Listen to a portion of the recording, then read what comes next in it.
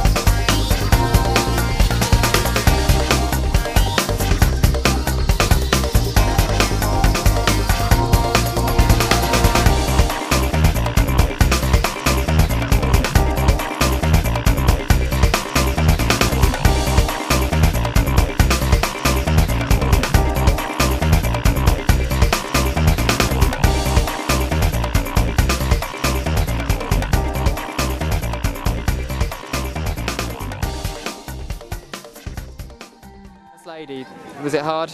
Ridiculous. Have you done Have you done this sort of thing before? yeah, I've done the um, Hell Runner Yeah. and um, Spartan sprinting, but that was sort of a culmination of the two because Hell Runner is longer, Yeah. whereas this is shorter, but there's more obstacles in it. So Yeah. yeah, it was good. It was cheeky. Some good hills in it. You got a bit stuck in the swamp as well at the beginning, but you got out. You chose I the wasn't happy about the swamp. you chose the wrong entrance to go in, I think. Yeah. Well done. Thank you very much. Did you two enjoy yourselves today then? It was really good, yeah. Have you done something like this before? Yes, we did the major challenge two Yeah. weeks ago Oh, and yeah. the Hell Runner in November. And how does this compare? What's the differences? The difference, well, the Hell Runner is of course much longer, it's Yeah. 11 miles. Um, the major challenge is similar, though I must say I like the obstacles here more Hmm. because you might go through into it, whereas with the major challenge, the first thing you do is just go up here all the time, which Hmm. is not so good. But no, the obstacles were really great. I love the water bit, Hmm. but I don't want to do that one in November, for example, because it must be really freezing. Yeah, it is cold. It is cold. The hills were river, wasn't it? It's the first time I've ever done like this before. The major British Military Fitness we did two weeks ago. The hills were. That was 11k as well. The obstacles are much more fun. The The obstacles are more fun, are they? The obstacles are much more fun, yeah. These ones are. Yes, they are. Yeah. British Military Fitness is great, more fun. Brilliant. Fun, yeah, definitely. How did you enjoy your first uh, extreme race then? Awesome. Yeah. Yeah, you can try hard next time. Yeah. Good. Fantastic. Thanks very much. It's the hardest thing I've ever done, ever. Good.